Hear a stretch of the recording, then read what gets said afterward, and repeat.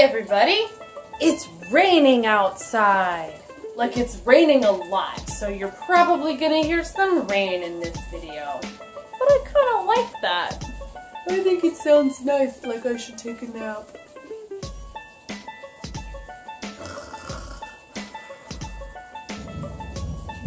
Oh, oh, I have to make a video. I can't sleep. Oh, silly Miss Abby. Before I fall asleep again, I think we should read our Bible story so we can get our video moving.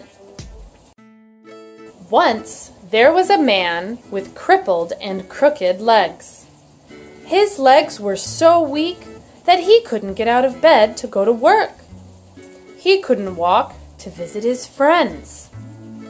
Every day, the man's friends carried him to the temple in Jerusalem so he could sit by the gate and ask people for money.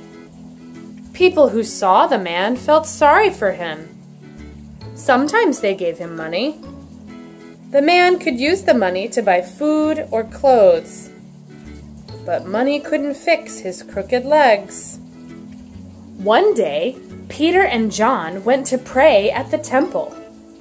They saw the man with crooked legs sitting by the gate. Will you help me? The man asked Peter and John. Will you give me some money for food? Peter and John felt sorry for the man with crooked legs. But Peter said, We don't have any money. We don't have silver or gold. But Jesus is better than money. Jesus can give you something money can't give you.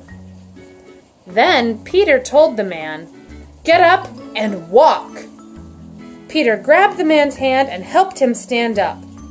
Right away, the man's legs were strong and healthy.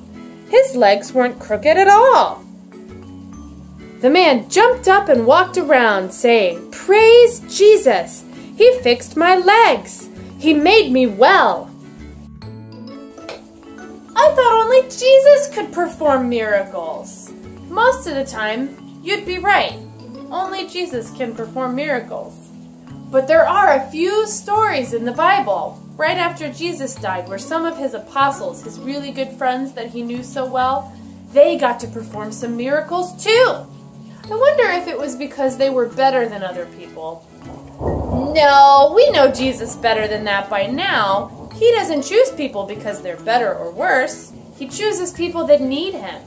And I think Peter was only able to make that man walk because he knew he wasn't really doing it. Peter knew that he couldn't make the man walk. He just believed in Jesus that much. And the man believed in Jesus that much. And Jesus made his legs better. Without even having to be on the earth. That's pretty cool. The question the Bible has for us today is, what can fix a broken world? Oh man, that's a toughie. We've talked a lot in our class about how the world is broken and our hearts are broken and they don't work right. The world was broken way back when Adam and Eve forgot what God had said and listened to the bad lie that the snake told them. And ever since then, we've been living in a broken world with broken hearts. So what can fix our broken world? The Bible's answer says, some people think having enough money to buy food or clothes is all we need. But only King Jesus can fix our broken world. Jesus is better than money. Jesus is better than anything else. And that's so true. Only Jesus can fix our broken world. Our job is to wait and pray and trust. Well, now that we've finished that really good Bible story, I think it's time for calendar. Let's go see. Okay, this is our third calendar time for the week. It's our last one. So, what was yesterday's number, Miss Haley, even though you can't see it? Let's see. 22. 22. That's two, two. Two and two. Um, so what does that make today's number? 23. 23. 23. Two bundles and three left over. What is our day today, Miss Haley? Today's day is Thursday. Thursday! It's the same every week. I wonder why that is. Hmm. What's our month still? April. Our month is still April, which starts with an A and then a P. A, April. April. All right, ready to say our date all together, Miss Haley? Yeah. Okay. Today is Thursday, April 23rd, 2020. Good job. All right, weather watcher time. Weather watcher, weather watcher, what do you see? What do you see? Tell us what the weather's like. Tell us what the weather's like. Won't you please? Won't you please? It's raining at my house today. I wonder if it will be sunny by the time you watch this video. Hmm. So I have something really cool to show you guys today. But first we have to talk about freshwater and saltwater. Why would we talk about those? Well, since we've been talking about oceans, I figured we should talk about it. Because oceans are saltwater. Then what's freshwater? Freshwater is all the other water. So any water that's in a lake or a pond or a river or comes from the sky, that's all fresh water. And mostly that just means it doesn't have any salt in it. That's why we call salt saltwater, because it has salt in it.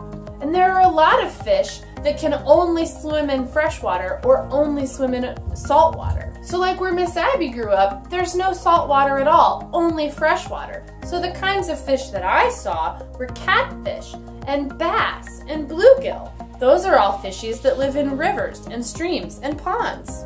But here in Florida, you kind of get both because you get the fishies that live in the freshwater, but you also get to see all of the fun saltwater fish. But the thing I want to talk about with freshwater and saltwater is this thing called density.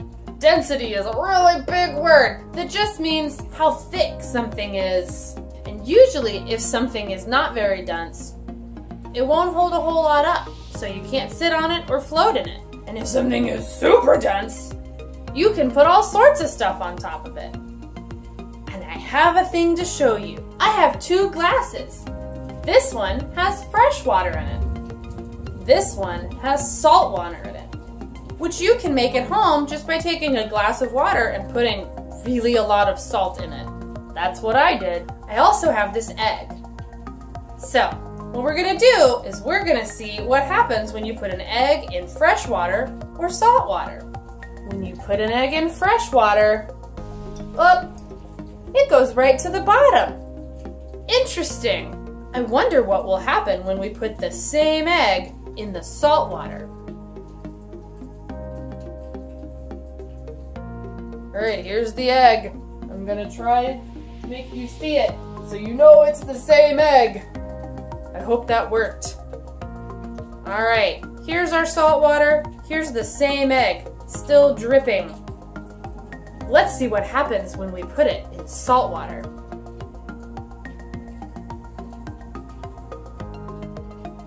Oh, look at that! It floats now! That's really cool! And it's also something you could try at home with mom and dad if you want to see it for yourself. But what did we learn from that? I think we learned that it's easier to float in salt water rather than in fresh water. Unless you're Miss Abby's dad. He can't float anywhere.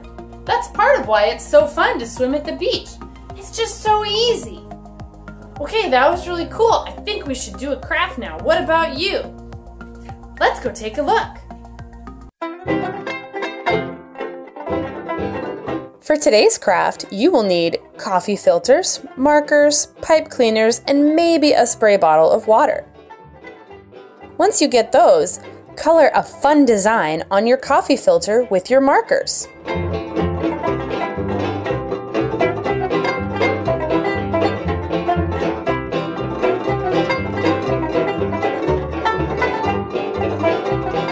Miss and I chose to spray our filters with water to make the colors run, but you don't have to.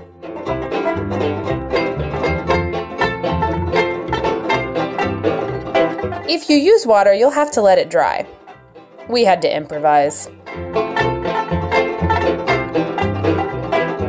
Once dry, take a pipe cleaner, fold it in half, and wrap it around your pinched filter.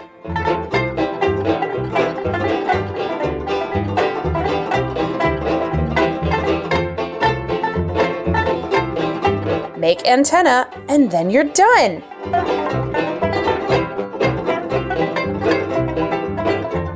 Butterflies.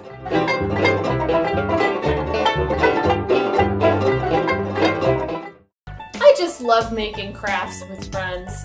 I hope you're enjoying making the crafts at home with Mommy and Daddy too. But that's all I had for today, so I'll see you tomorrow. Bye!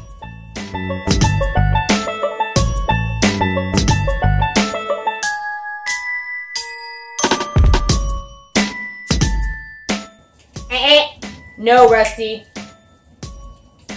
You will barf if you drink the salt water. No. Good boy.